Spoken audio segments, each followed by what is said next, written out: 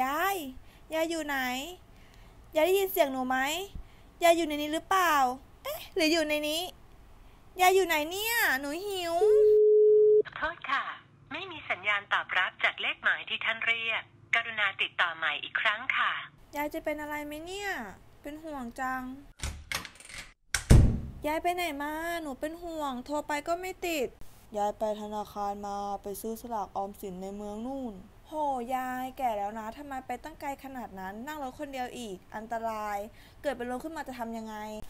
ให้ทำยังไงล่ะ บ้านเรามีแค่สาขาเดียว ยาย เดี๋ยวนี้เทคโนโลยีเขาพัฒนาไปไกลแล้วนะ อะไรยี่ยี่นะ เทคโนโลยีจะยาย อนนี้ธนาคารออมสินเขามีแอปพลิเคชัน m ม m o แล้วนะยาย ในแอปอะสามารถเช็คยอดเงินของเรา และสามารถจ่ายค่าน้ำค่าไฟ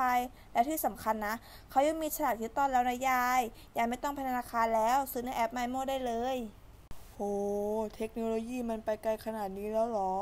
แต่ยายไม่กล้าใช้ ใช้ไม่เป็นด้วย ยายกลัวโดนเขาหลอก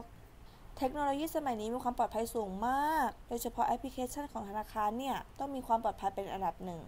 ก่อนเราจะเข้าแอป MyMo เราก็ต้องใส่รหัสผ่านด้วยนะ ไม่มีใครใช้ของเราได้แน่นอน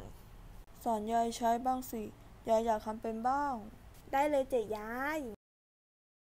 มันก็ไม่ได้ยากนี่ ใช่จ้ะยาย ยายจะได้ไม่ต้องเสียเวลาออกไปข้างนอกบ้าน จะได้เอาเวลามาทำกับข้าวให้หนูกินไง หนูหิวแล้วว่ะยายทำกับข้าวให้หนูหน่อยนะ